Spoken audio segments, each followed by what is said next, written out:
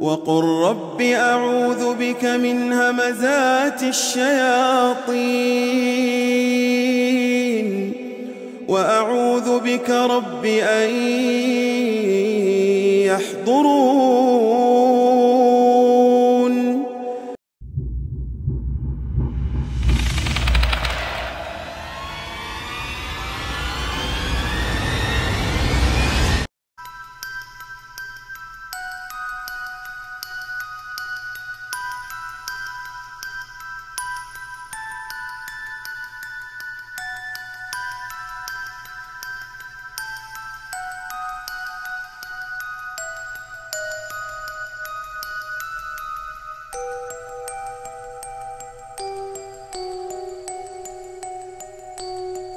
Auzubillahiminasyaitanirrajim Bismillahirrahmanirrahim. Assalamualaikum. Salam sejahtera. Welcome back to my channel.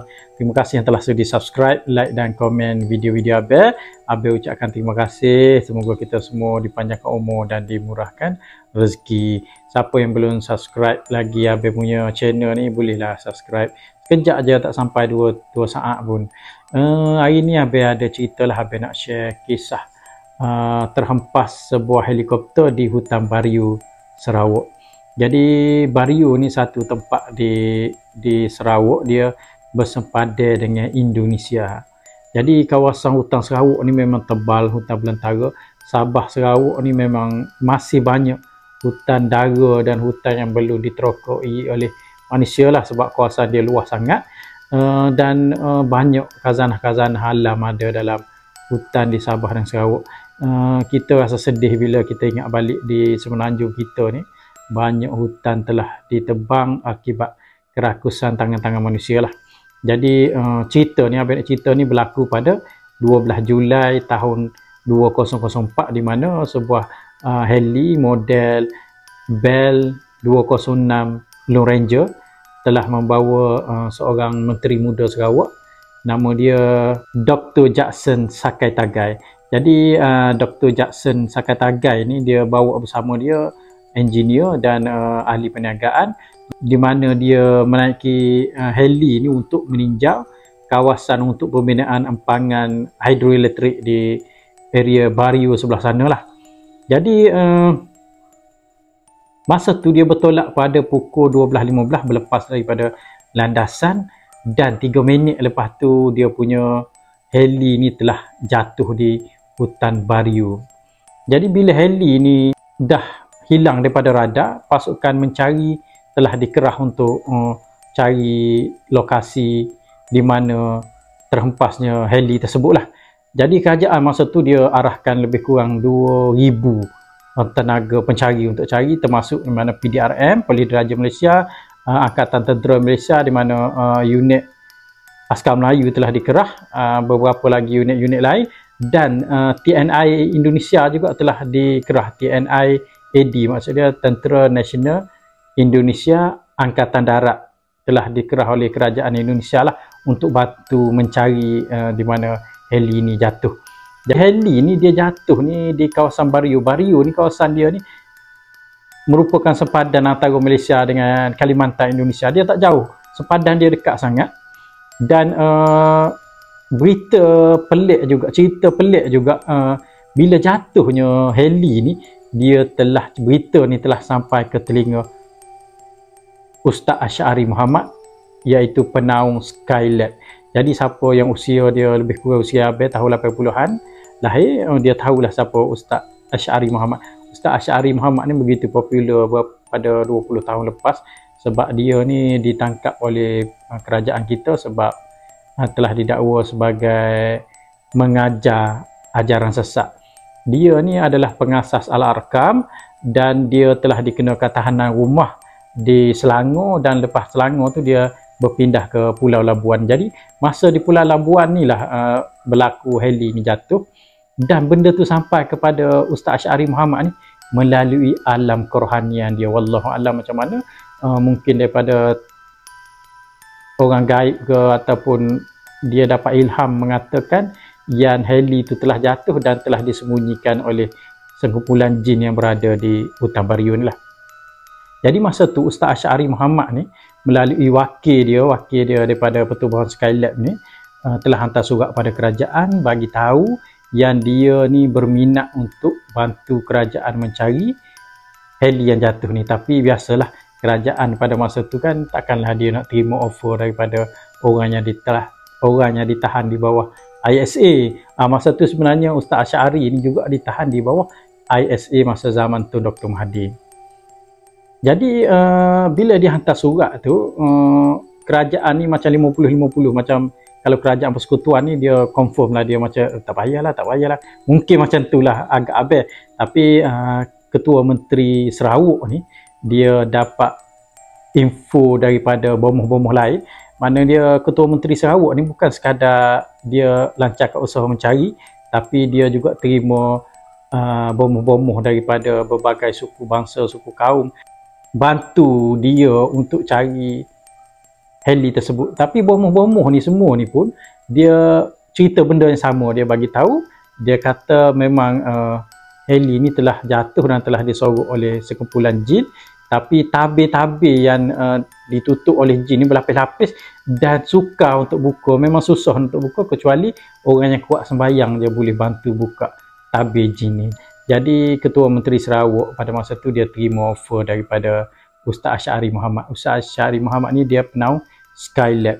Tapi siapa nak tahu pun, uh, apa itu Skylab? Skylab ni satu uh, pertubuhan gabungan doktor-doktor kerohanian dan doktor-doktor fizikal yang uh, spesialis dalam bidang perubatan di mana dia ni semua doktor-doktor ni berkhidmat di jabatan kerajaan dalam tentera dan di university di university tersasu tersasu uh, sebab Abel ni sebenarnya uh, ini video keempat Abel buat. Uh, Abel buat Abel delete. Abel buat Abel delete. Sebab uh, dia tak tahu kenapa ni video Abel nak cerita pasal tempahnya heli di Bario ni. Kali keempat ni Abel buat video Abel. Agak video ni menjadilah. Bila Ketua Menteri Sarawak ni dia terima offer daripada penaung Skylab ni uh, Ustaz Asyari Muhammad.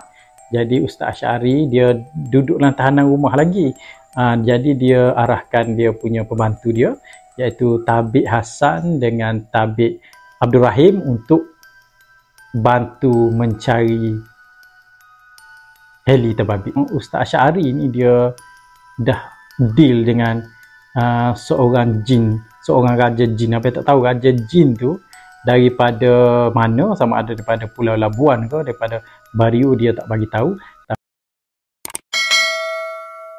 Raja Jin ni nama dia Raja Zar Raja Zar ni dia berkomunikasi dengan uh, Ustaz Asyari dan dia kata dia akan hantar wakil jugalah untuk bantu Asya, Ustaz Asyari ni cari heli yang hilang. Jadi dia hantar wakil nama wakil Jin ni nama dia Al.